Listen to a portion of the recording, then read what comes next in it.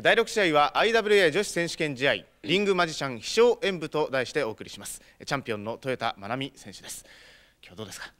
と IWA の防衛戦をするのは久しぶりなんですけど今日はこの大観衆の前で豊田真奈美の強さをはっきりと示します。チャレンジャーについてはどうですか？とプラム選手に関してはとガンガンぶつかってきてください。名勝負を作りましょう。はい。期待してますさあそして挑戦者のプラムマリコ選手です。さあ今日はどうですか？相手トヨタですけど。はい。やっぱり相手のペースに乗って試合進めちゃうとやばいんで今日は関節技とかで私のペースで試合を進めたいと思います。はい。頑張ってください、はい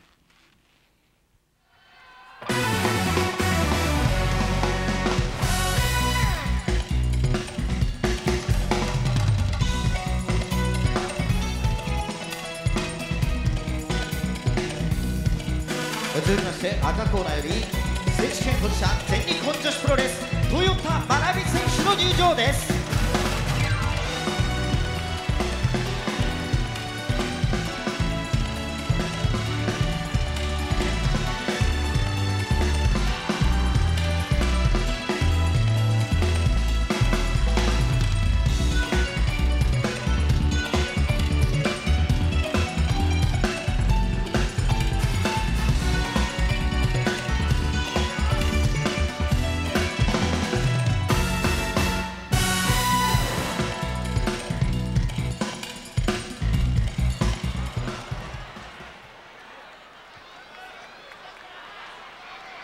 試合です。いきなりプラムが突っかけていきました。IWA 女子選手権試合リングマジシャン飛翔演舞全日本女子プロレス豊田真奈美対プラムマリコの60分一本勝負であります、えー、この試合、えー、この試合から実況私斉藤みどり。そして、えー、放送席には吉田真理子さんを、えー、お招きしております。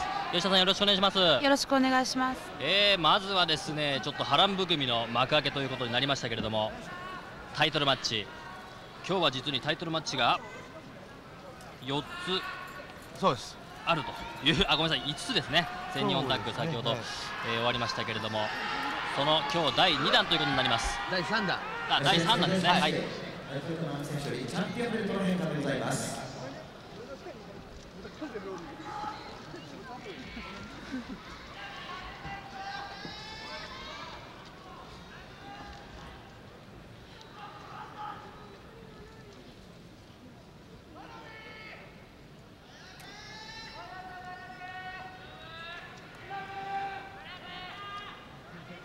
第6試合リングマジシャン勝負演舞 IWA 女子選手権試合60分一本勝負を行います。青コーナー挑戦者 JWP150 パン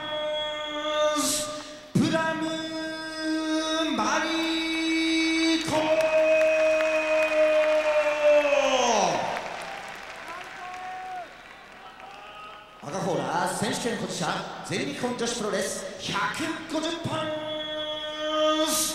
トヨタ。マナミレフリー笹崎克美。さあ IWA の選手権試合であります。チャンピオントヨタマナミに JWP はプラムマリコが挑むという形になりました。お互いにニューコスチュームが非常にこの横浜アリアリーナの中央にきらびやかに輝いているという感じがしますけれどもさあまずはがっちりと握手をしてクリーンな展開になるんでしょうかジョン・エランと仕掛けられたので一応握手の手を出しましたね、トヨタがね。ねおっとまずはあれぐらいじゃ動じてないですよね、トヨタさん。数が違うって感じですか、やっぱり。だからあの先制攻撃仕掛ければ仕掛けるほど、はい、逆に逆が格が下になっちゃうんですよね。なるほど。でも先制攻撃しかないですからね、あのプラム選手として。おっと張っていきましたが、ローリングクレイドルにいきなりいったという、おっと。あでもよくあの読むというか、え今のうまかったですね。あのプラム選手はあの試合巧者として知られてますから。はい、お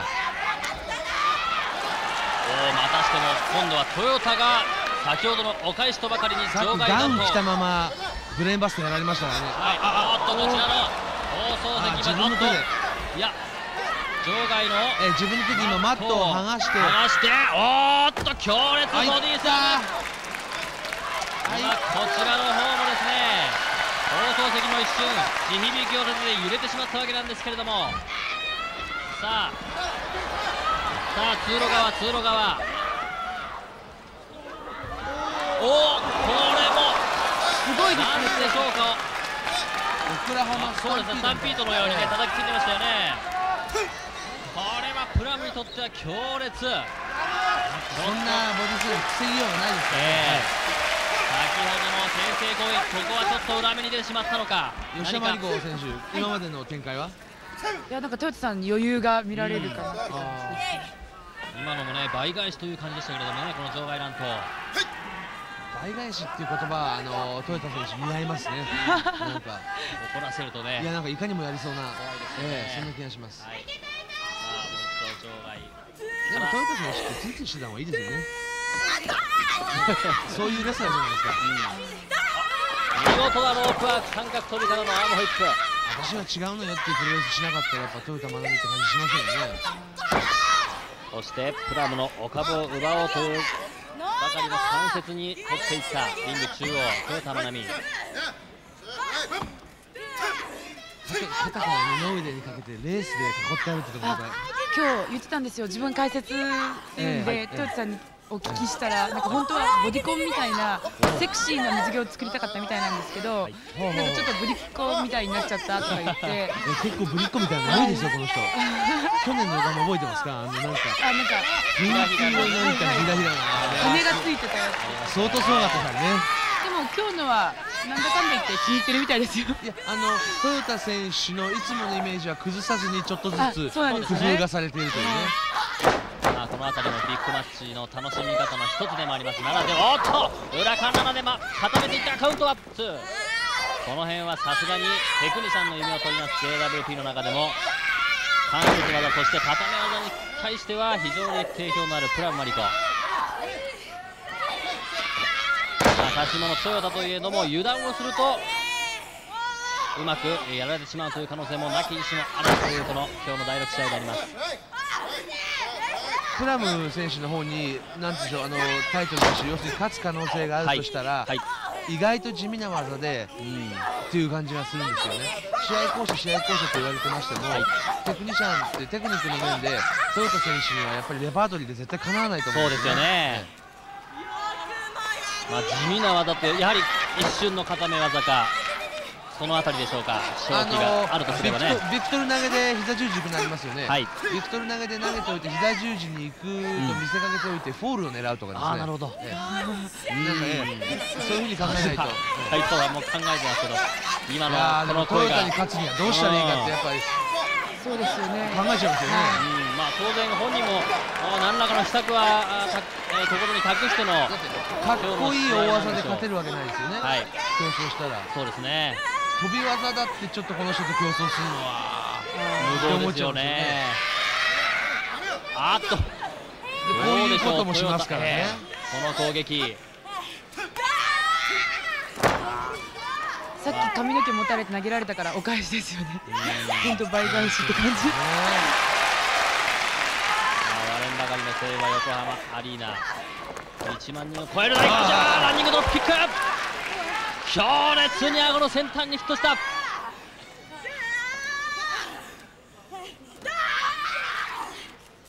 今度はダブルアームの形からパイルドライバーのように持ち上げてこのままおーっと頭に血が上っていくぞプランマリコ。投げるでもなし投げないでもなしっていうのちょっと嫌でしょ。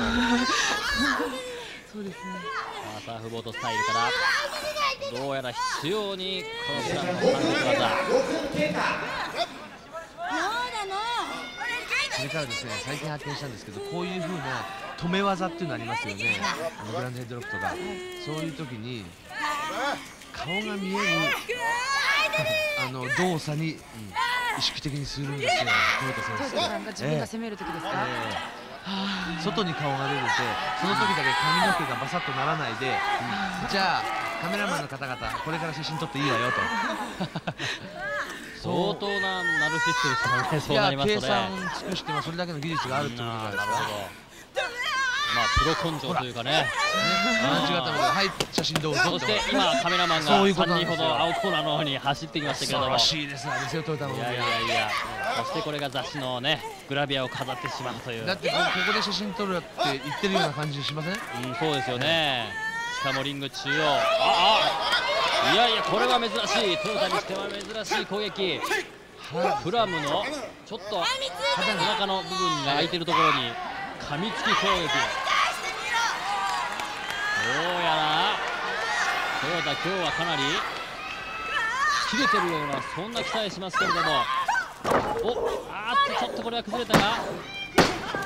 バックフリップのような形であれはプラム選手の返していった得意な技ですねおっとこれはこういう円形の膝膝十字ですね、あの今のカニバサミからっていうすごく得意にしてますから、ええ。まさにサンボテクニックでありますけれども飛びつきの膝十字しかしちょっとポジショニングが悪かったがあの今みたくあの相手の体をポンポンって叩くとリングスとかではあの私参りましたっていう意思表示ですよね。そうですよね。ギブアップの勝利になってトヨタはバカ野郎って打ったんだと思うんですよ。おっとまた複雑に足を畳んでいきましたけども選手の場合は多少かっこ悪くてもいいからもう掴んどくとか、ええそういうことじゃないですか、はい、いやこれは裏4字のような形に畳んでますけれどもどういうあ今紙つき攻撃のやり返しましたけどもねプラム。ご覧のように足が複雑に絡んでおります。この辺りのサンボの関節技。トヨタのペースを乱すには、かっこ悪い形にしてやることじゃないですか。かっこ悪い形。え彼の彼女のプライドをええズタズタに傷つけるような、えでも本当またボコスコにされますからね。困ったですよね。まあ、しかし後々のことを考えてはねプラムも勝機がありませんのでなりふり構わず。関節だと思いますよ、ええ。どうですか吉田選そうですね。まあ、関節技のバリエーションではこのプラムひょっとしたら唯一トヨタに、えー勝っている点かもしれません。手勝っていや勝ってるところはたくさんあるかもしれないですよ。あの、はいコツコツと地味に、あの攻めをなんか攻めていくというか、うんそういう部分で粘っこいタイプですよねは、はい。それからスタミナというか長い試合こなせて、うん、っていうような気もします。でもトヨタさんもスタミナとかには全然負けれないですよもう。もう無どうすればいいんでしょう。もうね。すぐ回復しちゃうからスックと立ってきますもんね。日焼けしの黒の水着っていうのがまたいいと思いますよ。あ普通プロレスのコスチュームを作るところだとピカピカになっちゃうじゃないですか。スパンデックスの。この人はチャコット系っていうか、チャコット系です、ええ。だからなんかバレリーナのあのまあちょっとビロード今日もっぽいね。艶消しのね、ええ。え黒でねその中にキラキラを入れるんですよね。え出ましたね。ワンああーーワンステップで飛飛びすぎましたよ今。勢いが上がって。飛びすぎ。ちょうど膝のあたりが、えープラムの顔面を捉えたような形になりました。ワンステップでのトップロープのダイビングボディアタック。うんものすごいドロップキックいやーもう今当たる前からねちょっとヒヤヒヤっとしたんですけれども。プラムは完全に大の字だ。大丈夫かプラムマリコノックアウトされまちゃうんですよね。え。トヨタさんの勢いがすごくてもう受け身一発いった。場所がないぐらいあすごいですよね。今ロープに。まあこの半分ぐらいリング飛んできますからね。そうですよね。トヨタのランニングドロップキックといえば、まああのね、最初の対抗戦でしたけどもね川崎。ドリームラッシュで尾崎真由美がね完全にノックアウトされた場面がありましたけれども何かあのシーンを思い出させるようなランニングドロップキック。しかしカウント2プランマリコお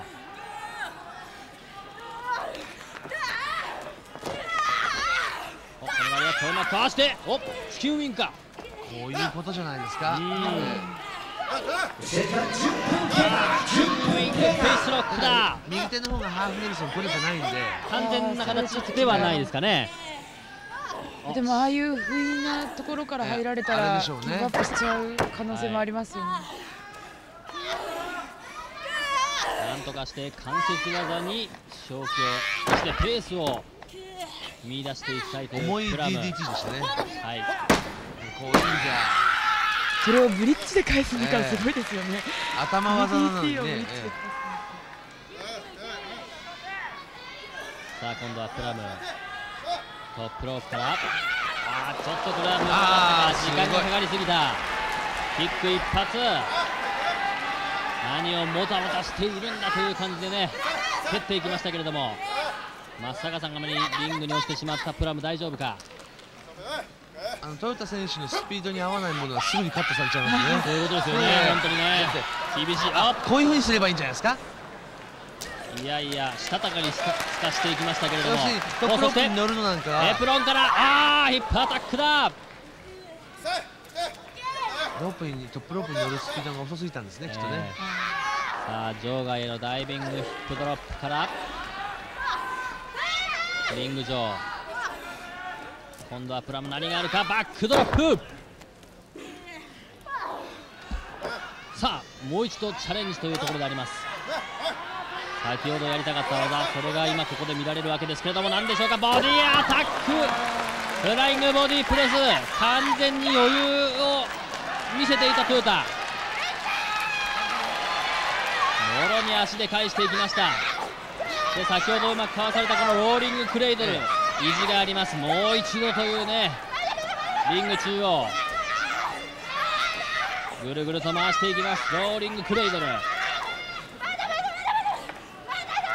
リング広く使いながら回転しますよね、いや今トヨタがね。まだまだと言いながら自分に言いながら回し続けている。いやこれはまた行きますね今日もまだまだ行きます。プランマリコの平行感覚がどんどん失われていくがさあ大丈夫か？カウントは？カウント2オッケーで叩きちゃいますね。まだ次がいっぱいありますからね、トヨタさんは。私まだ全然攻めてませんって考えてるんですか。今のもトヨタも。全部やる必要ないんだから。まだ回っているはずなんですけれども、ああこのムーンサルトこれ大チャンス。プラムプラムチャンスですか？おあこういうふうに STF STF ですか？すかさず STF リング中央。さあがっちりと決まってるぞ。さあ膝のフックはどうか？右手が伸びているがサードロープには届かない豊田真由美にじり寄っていった。攻めとしてはすごく今なんかね理にかなってるというか失敗して寝てるところですからただどっかオリジナリティがないんですよね。STF ってやっぱ流行りの技じゃないですか、はい、みんながやっちゃうんで、えー、まあ、プランもあの味が薄まっちゃうというか。フィッシュストレッチスリーパーなどね、まあ、に、えー、似てるようなオリジナル技あるんですけれどもまだまだそれを出すには至っていないという感じであります。おフランケンシュタイナーか。流れ式フランケンシュタイナーを狙ったがそう簡単にトヨタ。相手の得意技をやられる。あそこに座ったままぶっちゃいますか。らねああ後ろからミサイルキック。腰を直撃。今すごい顔しましたね。あトヨタさん、ええ、今のは。ジャーマン高角度危ないぞ。いや鈍い音がしました今のジャパンスープレックスホールド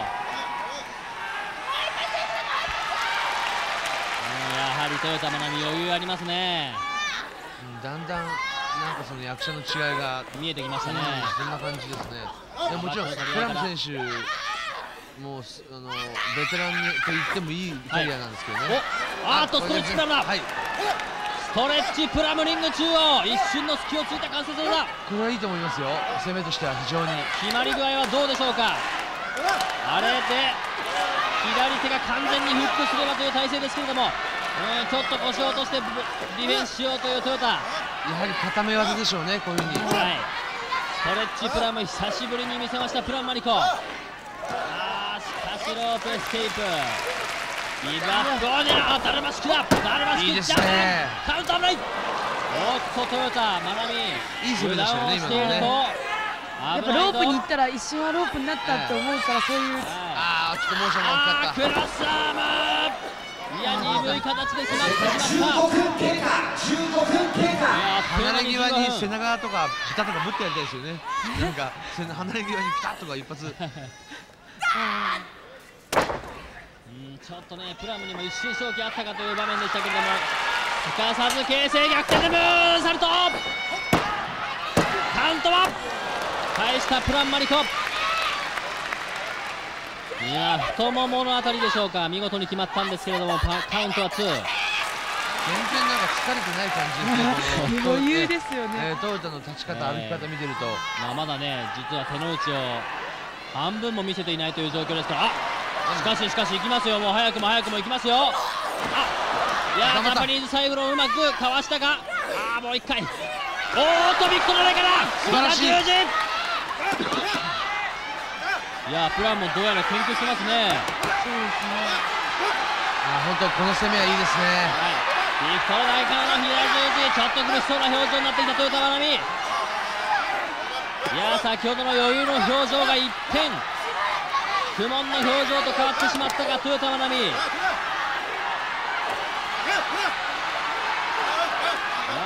割れんばかりの大歓声がトヨタに逃げられるかロープににじり寄っていくがサードロープにはまだ足がかからない。ここでロープエスケープ。う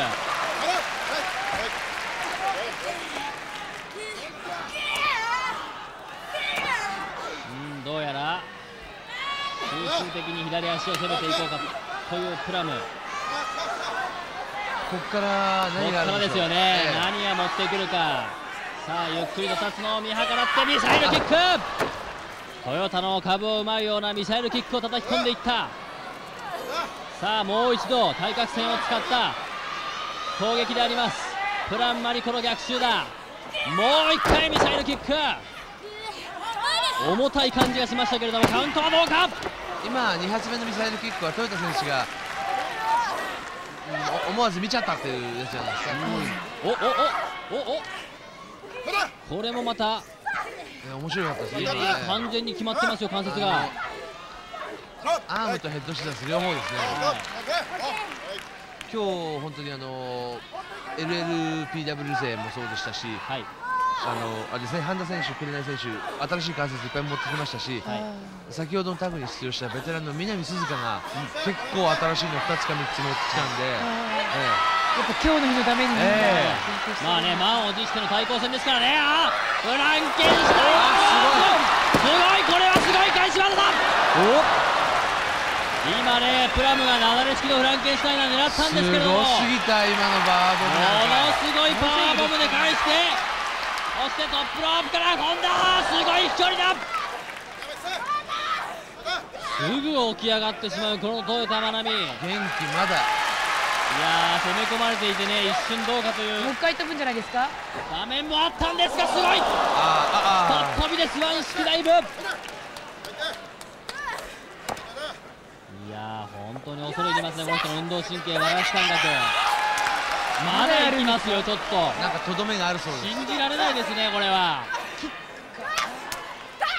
あすごいーうわすごいだって自分だって落ちるのに。ねそうですよね。ミサイあまたすぐ戻ってきましたよ。この人不死身ですね。不死身。本当そうですよね。また行きますよちょっと。プランマリコなすすめなし場外大の字。場かっこいい。外大の字はプランマリコ。なんか珍しいですねこういうトヨタさん。でも多少茶目っ気出さないとちょっとあまりにも憎らしすぎるっていう時あるじゃないですかトヨタさんってだからこういう茶目っ気嬉しいです。はいこれはこれ見ただけでトヨタの好きになるっていう人ずいぶん増えたんですよ。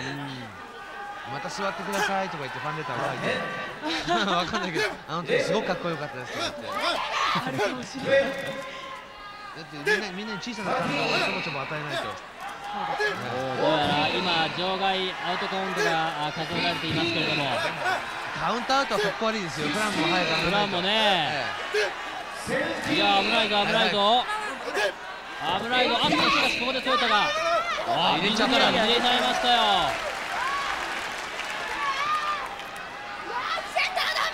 今このこのトヨタに。あーここでとどめですか？ああもうプランマリコ完全にグロッキー。完全にグロッキーでありますプランマリコ。トヨタさん本当に余裕ですね。平気なんじゃないですジャパニーズオーシャンサイクロンだ。プランマリコは苦悶の表情だ。もうなすすべがない。ジャパニーズオーシャンサイクロンツーブラックスものすごい音を出てきました。なんかやっぱり楽しんでる料理したというような感じでしたね。最初からか余裕の表情でしたこうやろうかな。って思ってたって感じでしたねプラム選手いろんな。試みはできたんだと思うんですよあの北十字ストレッチプラム。まあいろんなね連携のね、えー、感じのボタンを出してきましたけれども。いやしかし終わってみれば役者が違ったという豊田真奈美選手がいらませんね。自分が負けることなんてこの世にありえないという戦い方をしてるから。なんかそういう本当にそういう感じですよね。なるほど。いやしょうがないじゃんそういう人と試合をするというのは、ええ。まあプラムもプラムなりに自分の良さを出していったんですけれども。うんやはりちょっとね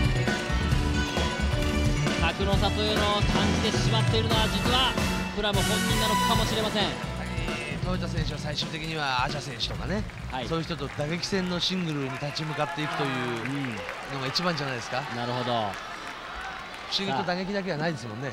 そうですね。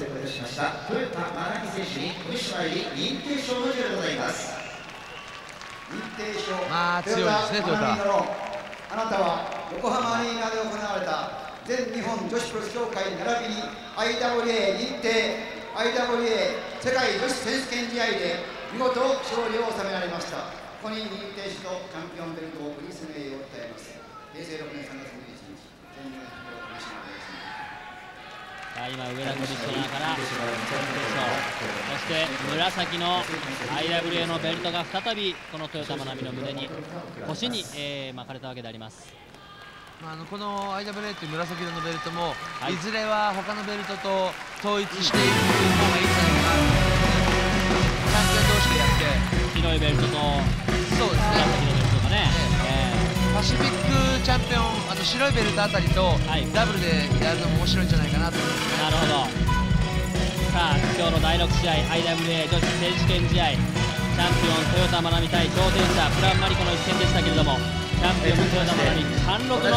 防衛ということになりました IWA のベルトを見事に守りましたチャンピオンの豊田真奈美選手です。おめでとうございました。今日はもう完璧というふうに見ていいんでしょうね。そうですね。でもすごいプラム選手があそこまでできると自分は思ってなかったんであの JWP にも尾崎関西だけじゃなくてあんないい選手がいるって初めて分かりました。はい新たなライバルに成長する可能性ありますか、はい、そうですね。自分にない関節とかそういうものいっぱい持ってるんで自分ももうちょっとそういうところを勉強してもう一回プラムと戦ってみたいなと思います、はい、はい、頑張ってください。新たなライバル出現の予感です